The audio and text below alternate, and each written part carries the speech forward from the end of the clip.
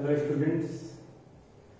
myself Neeraj Kumar assistant professor in the electrical and electronics engineering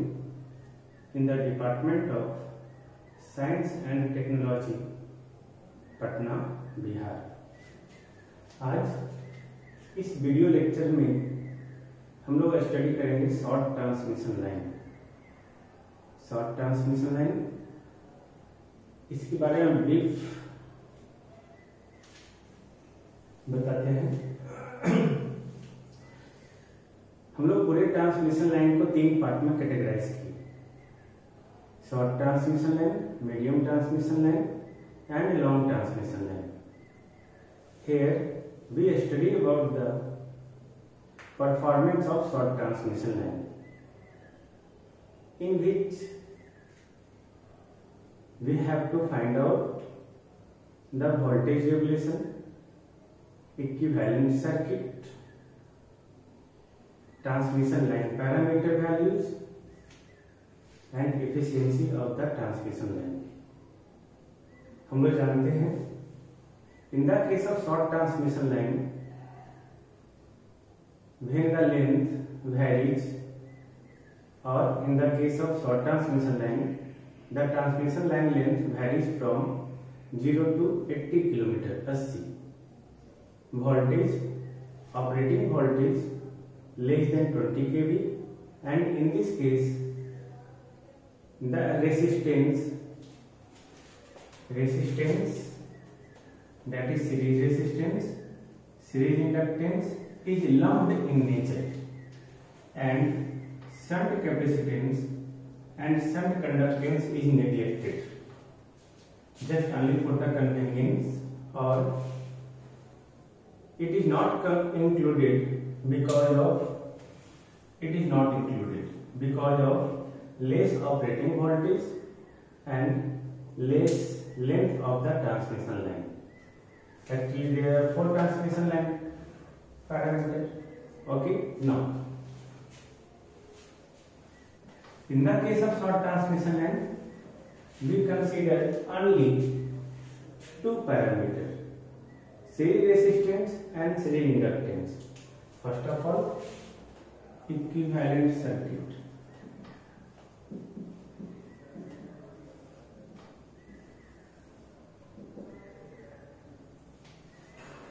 This one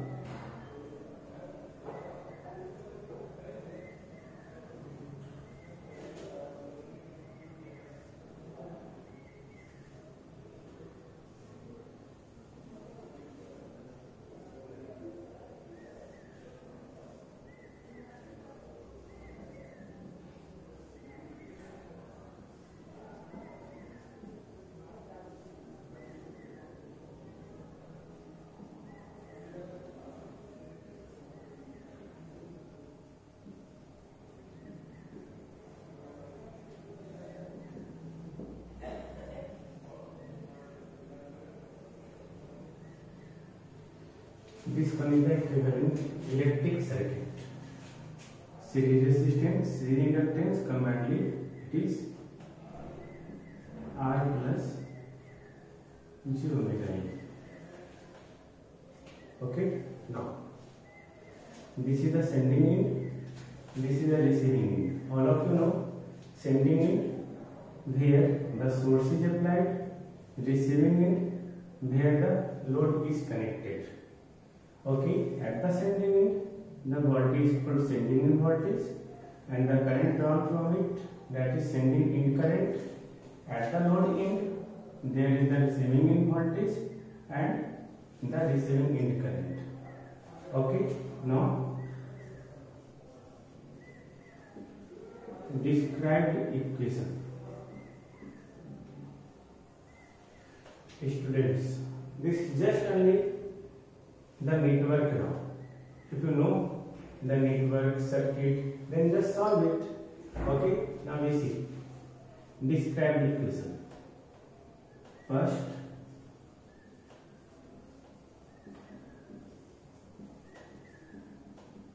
current equation. Of course, I is equal to I R. I is equal to I R. Second, voltage equation voltage equation of course applied के लिए applied के लिए v है minus B S plus I S और I R के term में कुछ भी लिख सकते हैं आप आई आर आर इसके क्रॉस वोल्टेज आप देख सकते हैं अगर कहीं भी रेसिस्टेंस है आर आई और ये भी then v equal to I R अगर कहीं भी इंडक्टेंस है then v equal to J omega I similarly in this case there will be I R then इसके cross voltage J omega E I R plus B R equal to zero V S equal to B R plus I R R plus J omega E और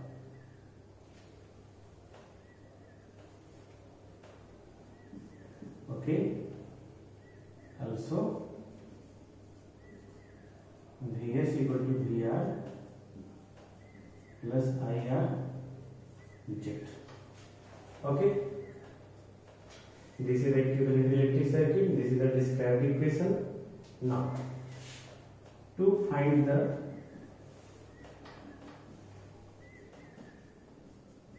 to find the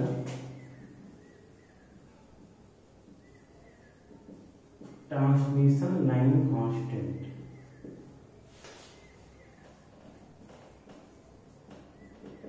That is A, B, C and D. Of course, all of you know about this. If you don't know, then see the video lecture okay, of transmission line parameter. Now we see. standard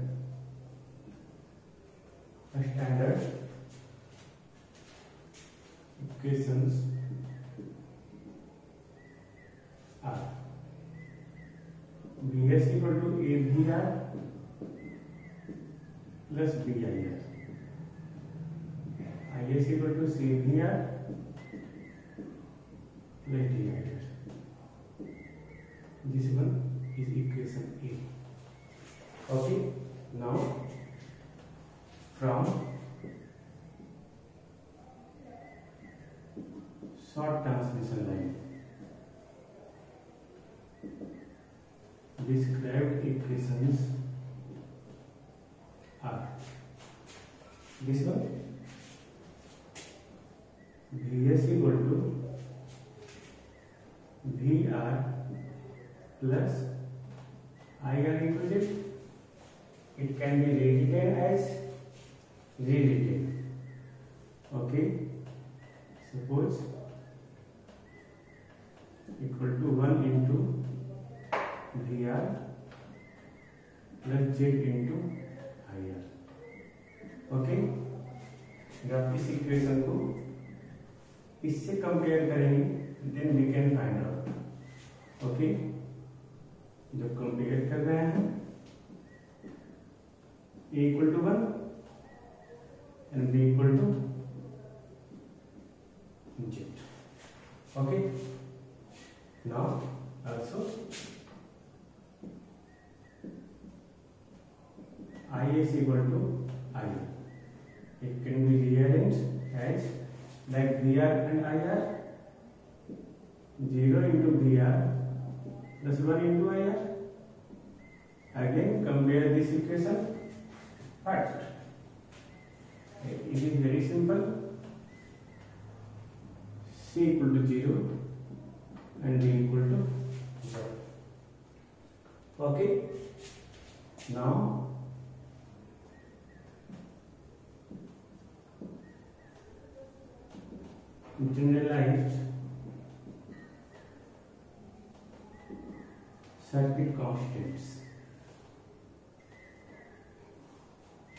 for short transmission line a equal to 1 b equal to z c equal to 0 d equal to 1 this is very important okay coming to memory ct coming to memory triple star okay now अब हम लोग check करेंगे कि ये circuit हमारा symmetric है या passive nature का है या नहीं क्योंकि हम लोग जानते हैं ट्रांसमिशन लाइन को जो है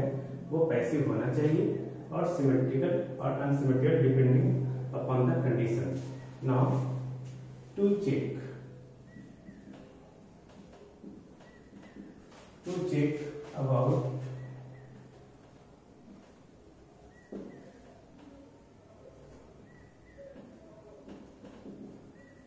symmetricity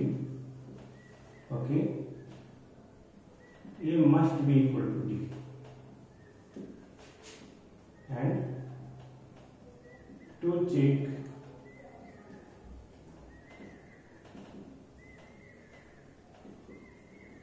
passive nature ad minus bc must be equal to 1 in this case or in the case of our transmission line clearly we have seen k must be equal to b right then the given circuit is symmetrical okay try tricycle ad that is 1 into 1 minus bc that is z into 0 equal to what 1 then ad minus bc equal to 1 then this is passive network okay here we can prove it like that now how do you have यहाँ पर हम लोग देखें equivalent circuit okay जिसमें describe equation है generalise circuit constants है okay इसके next video lecture में आप देखेंगे how to draw the phasor diagram of short transmission है and voltage regulation of the